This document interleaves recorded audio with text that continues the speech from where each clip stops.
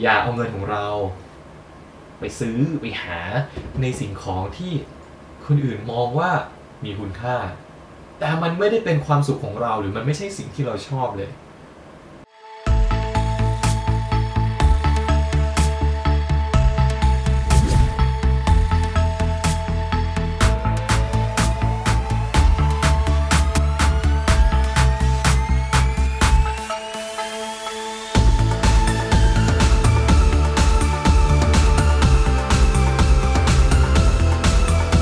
วัสดีครับเพื่อนๆครับ อยู่กับปรินชีเป้านะครับ แล้วก็ไม่ได้เจอในช่วงนี้นานกันมากๆเลยนั่นก็คือช่วงปรินแกะกล่องนั่นเองครับเผอิญว่าเพิ่งได้มีโอกาสนะครับ แล้วก็เป็นสินค้า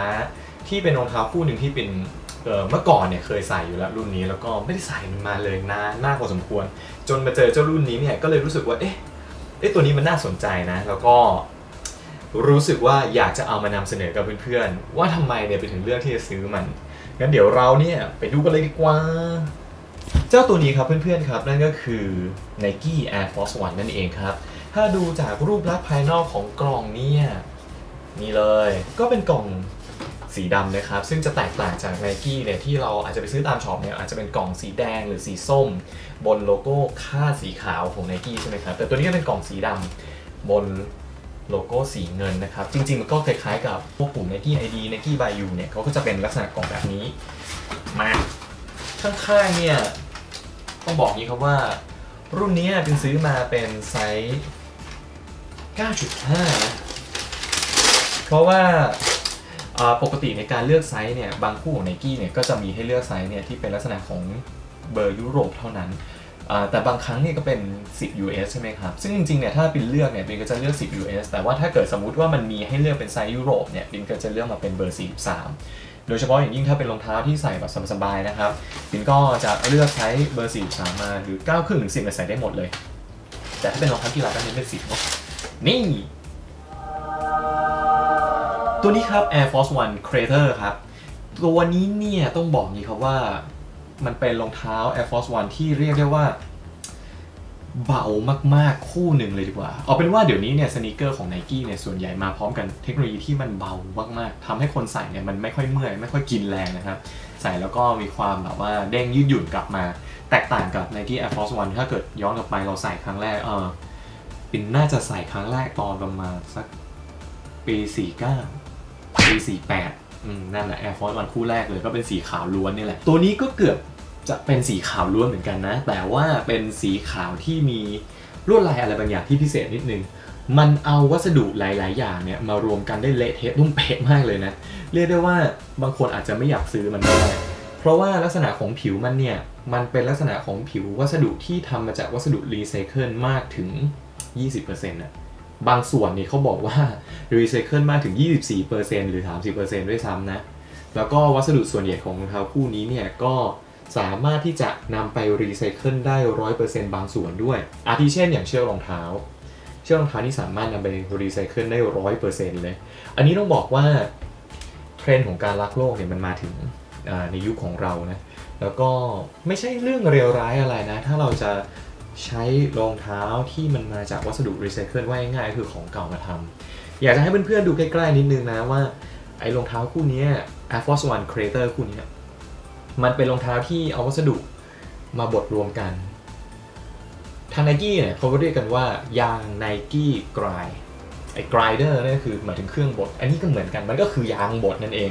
เราเห็นได้ว่าลวดลายของมันเนี่ยมันก็คือยางบดอัดแล้วก็มาทำสี แต่ก็ยังคงเอกลักษณ์เอาไว้ของลักษณะวัสดุที่เป็นยางบดอัด แล้วก็เป็นสีธรรมชาติของมัน ผิว upper ของมันก็เหมือนกันนะ เป็นลักษณะของผิวยางที่มาเคลือบแล้วก็ปิดทับด้วยผ้าสังเคราะห์ที่โปร่งแสงนะครับ ก็น่าจะทำให้ระบายอากาศได้ดีขึ้น แล้วก็สะท้อนน้ำประมาณนึงสำหรับปินนะมันแล้วมันก็ลดส่วนที่มันเป็นหนังใช่ไหมก็อาจจะทำให้อุณหภูมิไม่สะสมมากจนเกินไป โดยเฉพาะหน้าเท้าบริเวณนี้ โอเค หากเราดูกันลึกๆนะ หากเราดูกันลึกๆอืมบริเวณผิวพื้นรองเท้าเนี่ยเขาเป็นลักษณะพื้นรองเท้าที่ซาะล่องลึกกว่าปกติ หากใครใส่ Air Force One มาก่อนนะครับ ก็จะรู้ว่าคู่นี้มันลึกกว่าจริงๆ แต่ผิวสัมผัสมันดีสิ เวลาเราจับไปแล้วแอบตกใจนิดนึงว่าอ๋อ เคล็ดลับที่มันเบาขนาดนี้เพราะว่ารู้สึกมันมันมันบางมากเลย มันดูเหมือนจะกลวงข้างในมาก ๆเลย อันนี้ก็ เรียกได้ว่าคงเอกลักษณ์ไว้ของ Air Force One ย้อนกลับไปสักนิดหนึ่งเพื่อนๆ เพราะว่าไอ Air Force One เนี่ยอืมมันเป็นรองเท้าที่ถูกทำออกมา เพื่อเป็นรองเท้ากีฬาบาสเกตบอลแล้วก็เป็นครั้งแรกด้วยที่ Nike เนี่ยใส่เอาเทคโนโลยี Air Nike Air ลงไปเรียกได้ว่าปฏิวัติวงการกีฬาโดยเฉพาะบาสเกตบอลเลย เราก็จะเห็นได้ว่ารองเท้าบาสเกตบอลในของ Nike เนี่ย ยุคนี้นะหน้าตามันเริ่มแบบ ปลกประหลาดล้ำยุคไปแล้วอะมันแต่ละคู่นี่มันคือมันล้ำมากจริงๆซึ่งก็เข้าใจว่ามันก็อาจจะกลารมาเป็นบรรทัดฐานหรือมาตรฐานใหม่ของสนิเกอร์ในอนาคตด้วย เพราะว่าอย่างคู่นี้มันเกิดขึ้นในปี 1982 ใครเกิดแล้วบ้าง ยกมือสิ ปีนี้ไม่เกิดเลยอะ มันนานขนาดนั้นนะเพื่อนๆ แล้วก็ต้องบอกว่าเป็นรองเท้าที่น่าจะเป็นแรงบันดาลใจให้กับรองเท้าหลาย ๆ คู่นะ ที่เอารองเท้ากีฬา รองเท้า sneaker เหล่านี้มากลายเป็นส่วนหนึ่งของวัฒนธรรมในการแต่งกายแฟชั่นเนาะกระดาษที่เขาห่อมาเนี่ยมันปั๊มนูนต่ำเป็น เป็นลักษณะของรูปดาว นั่นเองก็คือตัวลายเดียวกับตรงช่วงหน้ารองเท้าส่วนล่างนะครับ เป็นผิวดาวแบบนั้นท้ายด้วยนะ คู่นี้เนี่ยเขาบอกว่าความพิเศษเนี่ยมันพิเศษมากกว่เครเทอร์เนี่ยมันนุ่มกว่า Air Force One ปกติ แล้วก็เบากว่าปกติด้วยนะ เพราะว่าเป็นวัสดุที่ยางผสมกับโฟม มันเลยไม่ได้อุ้มน้ำหนักมาก น้ำหนักก็ค่อนข้างเบา เสียดายเป็นลืมเอาตาช่างน้ำหนักมาวางไม่งั้นน่าจะได้น่าจะได้รู้แต่เป็นเชื่อว่าข้างหนึ่งน่าจะไม่เกิน ไม่เกิน 300 กรัมอะจริง ๆ เบามากจริงอะมันมันเบามากๆเลยฮะ เดี๋ยวปินจะใส่ภาพชัดๆใกล้เพื่อนๆดูนะครับว่ามันมีรายละเอียดที่น่าสนใจครับไม่ว่าจะเป็นแท็กลิงก์ด้านหน้านะครับ ซึ่งมันเป็นวัสดุที่เป็นยางนะแล้วก็รู้เลยแหละว่ามันเป็นยางที่แบบรีไซเคิลได้แน่ๆเพราะว่าตัวมันเองขึ้นรูปมาด้วยวัสดุที่ดูไม่ค่อยสะอาดเท่าไหร่เออแต่เชือกสะอาดนะนะภายในก็ดูดีฮะก็เป็นวัสดุผิวยาง ผิวยางนะที่ นำวัสดุรีไซเคิลมาทำอะแต่ว่าปิดผิวด้วยวัสดุผ้าโปร่งแสงอีกอันทำให้เรารู้สึกว่าเอ้ยมันมันผิวสัมผัสดีอะตัวลิ้นก็เป็นแบบทอปัก สีขาวสะอาดล้วน รุ่นนี้นะครับ Air Force One Creator มาพร้อมกัน 3 สี สีดำ upper ตรงส่วนหน้าก็ออกขาวๆเทาๆอะ สีขาวแบบนี้และสีที่3ก็คือเป็นสีเทานะ น่าจะเป็น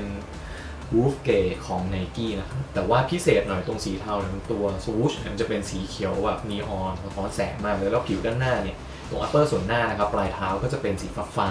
ๆเข้าใจว่าก็เป็นดีไซน์ของ Creator รุ่นที่เป็นอนุรักษ์โลกแบบนี้ สีสันก็สดใสหน่อย แต่คู่นี้ปินก็ชอบนะ แล้วก็เห็นแล้วก็รู้สึกอยากได้สำหรับคนที่เป็น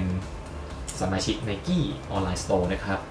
ก็จะได้ส่วนลดของรองเท้าคู่นี้ก็ไม่แน่ใจเหมือนกันว่าลดต่างกันหรือเปล่านะแต่ว่าเขาส่งมาว่ามันเป็น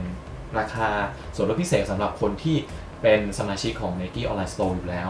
ราคาเปิดตัวนะครับอยู่ที่ 4,200 บาท แล้วก็ส่วนลดที่เราได้มานะครับอยู่ที่ราคา 2,729 บาท เท่านั้นเองก็ไม่ได้แพงมากสำหรับเราจะหารองเท้าสักคู่หนึ่งที่เราใส่ไว้ทุกวันใส่ลุยทำงงทำงาน ใส่แล้วไม่กลัวเลอะไม่กลัวหายเท่าไหร่อะก็ รับได้ แล้วก็มีคุณภาพที่ดีจากชื่อชั้นอย่างไนกี้ที่เรารู้กันเอง ซึ่งต้องบอกอีกครับว่าใครที่จะหาซื้อเจ้ารองเท้าคู่นี้นะครับ เราก็อาจจะประหลาดใจสักนิดหนึ่งเพราะว่าไนกี้เนี่ยปัจจุบันได้มีการมาเปิดช็อปที่ไนกี้สาขาที่สยามเซ็นเตอร์เรียบร้อยแล้วแล้วเป็นช็อปที่ได้มาตรฐานดูใหญ่โตสวยงามด้วย แต่ก็แอบแปลกใจนิดหนึ่งว่าเวลาสั่งของจาก Nike Online Store เนี่ย มันกลับส่งมาจากสิงคโปร์ทุกทีนำส่งด้วยอาราเมกแล้วก็ส่งต่ออีกทอดหนึ่งด้วย ใครก็ไม่รู้นะอาจจะเป็นเคอรี่อาจจะเป็น B อาจจะเป็นแฟชหรืออะไรก็ไม่รู้แหละถึงจะมาถึงมือเราที่ประเทศไทย เพราะฉะนั้นเนี่ยสินค้าที่สั่งจาก Nike ก็จะช้ากว่า สมมุติว่าเราไปสั่งจาก Adidas Online Store เนอะ Adidas เร็วมาก 3 วัน 2 วันก็ถึงละ แต่ Nike เนี่ยส่วนใหญ่จะ7ถึง10 วันนะ โดยเฉพาะอย่างยิ่งประสบการณ์การซื้อ Nike ID อะหรือปัจจุบันใช้ชื่อว่า Nike by You อะมันก็ กินเวลาประมาณ 3 สัปดาห์เห็นจะได้นานพอสมควรนานจริง ๆ แล้วพอยิ่งมีกรอบเวลาในการคืนส่งอย่างเงี้ยถ้าเกิดเราจะคืนของอะถึงแม้มันจะเป็นนโยบายที่ดีของ Nike นะครับว่าสามารถคืนของได้ภายใน 30 วันเนี่ยแต่กว่าของจะกลับไปคืนถึงตัวไนกี้ที่สิงคโปร์ก็ใช้เวลาใช่ไหมแล้วกว่าจะทำเรื่องคืนเงินอีก 3 วันก็ค่อนข้างจะนาน มันก็ทำให้เราเสียโอกาสเหมือนกันถ้าเราสั่งซื้อสินค้าแล้วมันผิดไซส์ผิดสีไปเป็นเศร้าบอกเลย ก็นะ หวังว่าเราเนี่ยก็จะได้สั่งซื้อของสินค้าจาก Nike o l a s p o แล้วมันก็อยู่ในไทยสักที เพราะว่าเข้าใจว่าเขาน่าจะมาจาก shop ที่ Jewel นะ Airport ที่ชางงีของสิงคโปร์เพราะว่าเป็นเคยมีโอกาสไปซื้อของที่นั่นเหมือนกัน แล้วก็เขาก็มีเอ่อเขาเรียกว่าสามารถดีไซน์ในที่อยู่ตรงนั้นได้เลยอะ่ะแล้วก็รอรับของภายในรู้สึกจะสามวันเองมั้งเร็วมากครับ ก็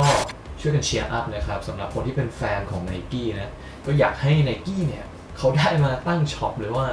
ว่ายง่ายคือ fulfillment เนี่ยอยู่ที่ประเทศไทยสักที เราคนไทยจะได้สั่งซื้อได้ง่ายหน่อย แล้วก็ได้ของที่ค่อนข้างเร็วนะจริงๆ แล้วคู่นี้อาจจะไม่ได้มีอะไรพิเศษมากนะ แต่เผอิญว่ามันมีเรื่องหนึ่งนะครับเพื่อนๆที่ปินเนี่ยอยากจะออกมาพูด แล้วก็อยากให้เพื่อนๆหลาย ๆ คนที่ติดตามดูคลิปปินนะ ช่องปินชีเป้าเนี่ยไม่ว่าจะเป็นสินค้าอะไรแล้วแต่ ไม่ว่าจะเป็นของกระจุกกระจิกของไอทีก็เจ็ตมือถือหรือออรองเท้าหรือแม้กระทั่งรถยนต์ คือมันจะมีคอมเมนต์หนึ่งที่ปินเจอบ่อยมากนะครับเพื่อนๆแล้วก็โดยเฉพาะอย่างยิ่งเราเป็นคนที่ชอบเล่นรองเท้าหรือเล่นแบรนด์อะไรนอกกระแส มันมันจะเจอคำถามแล้วก็คอมเมนต์ประมาณที่ว่า เนี่ย อยากได้รุ่นนี้มากเลย อยากได้มากเล็งมานานแล้ว แล้วก็รู้สึกชอบมันมากเลย แต่ว่าเพื่อนๆ คนรอบๆตัว ครอบครัวพี่ชายน้องชาย อะไรก็ไม่รู้แหละคนรอบๆตัว อืมทักท้วงตลอดเลยเตือนตลอดเลยว่า อย่าซื้อเลยไอ้รุ่นนี้มันไม่ดีอย่างนั้นอย่างนี้อย่างงู้นทำไมไม่ซื้อรุ่นนี้ล่ะเรื่องแรกเลยครับเพื่อนๆเป็นอยากจะบอกเพื่อนๆว่า ถ้าเพื่อนๆอยากจะได้อะไรสักอย่างหนึ่งนะ สิ่งแรกที่เราควรต้องมีเลย โอเคตังต้องมีแน่นอนตังมีไหมต้องมีตังไม่มีตังจะมีได้ยังไงใช่ไหมของแบบนั้น เรื่องแรกนั่นก็คือเราต้องรู้ก่อนว่าเราต้องการอะไร เราชอบอะไรเราต้องการอะไร เรื่องนี้เราต้องมีก่อนนะครับเพื่อนๆเพราะว่าถ้าเราไม่มีธงข้อนี้เนี่ยเรื่องอื่นเนี่ยมันไปได้ยากละถ้าวันนี้เพื่อนๆบอกว่าฉันชอบรองเท้าสีขาว อยากได้รองเท้าสีขาวสักคู่ใส่ได้ทุกๆวันแล้วก็ อืม ราคาไม่สูงมากนะ ใส่สบายน้ำหนักไม่มาก มันก็จะสโคบหรือว่ามันก็กำหนดกรอบให้แคบลงได้สำหรับการเลือกซื้อรองเท้า โดยที่เราอาจจะไม่จำเป็นจะต้องสนใจเรื่องของแบรนด์หรือราคาด้วยซ้ำแต่ถ้าวันนี้ธงของเพื่อนๆบอกว่า ฉันต้องการรองเท้าไนกี้สักคู่ แล้วต้องเป็นสีขาวกรอบมันก็จะยิ่งแคบลงมาอีกครับ นี่มันก็จะเลือกได้ไม่ยากละไนกี้สีขาวมันก็จะมีหลายรุ่นแต่มันก็อยู่ในแบรนด์ไนกี้ไงเพื่อนๆ ฉะนั้นแล้วเนี่ยปินแค่แค่อยากจะบอกเพื่อนๆว่า ถ้าเราชอบอะไรนะครับเราต้องรู้ก่อนเลยว่าเราชอบอะไรเราต้องการอะไร เมื่อเรารู้ปุ๊บเรื่องที่สองมันก็จะตามมานั่นก็คือ สิ่งที่เป็นข้อด้อยหรือข้อไม่ดี มันใช่สิ่งที่เป็นข้อไม่ดีสำหรับเราหรือไม่ เพราะว่าบางเรื่องเนี่ยมันอาจจะเป็นเรื่องที่ไม่ดีสำหรับคนอื่น แต่มันเป็นเรื่องเฉยๆสำหรับเราเป็นเรื่องปกติหรืออาจจะเป็นเรื่องดีสำหรับเราก็ได้ อย่างเช่นรถยนต์บางคันนะครับเบาะคู่หน้าไม่เป็นเบาะไฟฟ้า ไม่ใช่เบาะที่มันปรับด้วยไฟฟ้านะปรับด้วยมือเนี่ยแต่ว่ามันก็อาจจะกลายเป็นเรื่องที่ดีสำหรับบางคนเพราะบางคนบอกว่า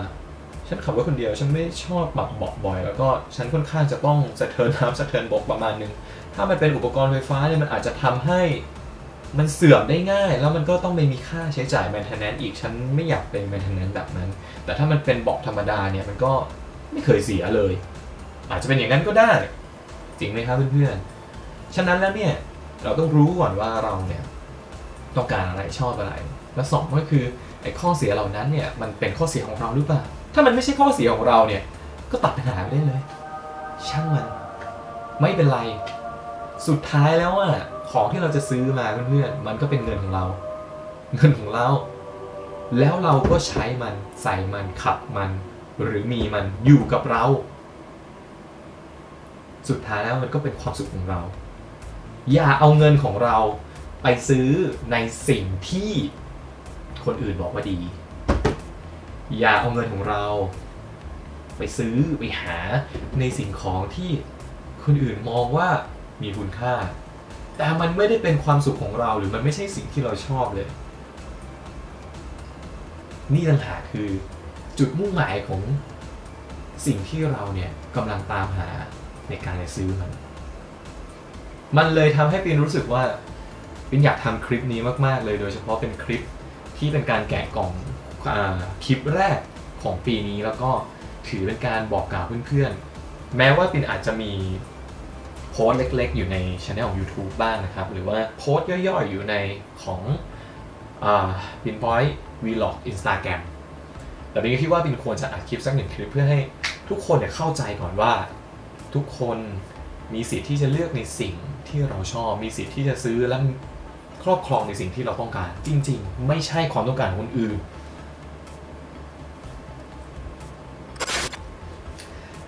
เป็นไงครับเพื่อนๆครับสำหรับคลิปนี้ครับ ถ้าเพื่อนๆชอบนะครับ ฝากกดไลค์ฝากกดแชร์ฝากกด subscribe นะครับ เป็นกำลังใจให้ปินครับ สามารถคอมเมนต์ได้ บอกปินได้นะครับ ว่าอยากให้ปินปรับปรุงคลิปวิดีโอเป็นไงให้ดีขึ้น แล้วก็บอกปินได้นะครับ อยากให้ปินเนี่ยไปหาอะไรมารีวิวเดี๋ยวปินก็มีโอกาสปินจะได้ไปหามารีวิวเพื่อนๆครับขอบคุณสำหรับการติดตามทั้งสมาชิกใหม่สมาชิกรุ่นบุกเบิก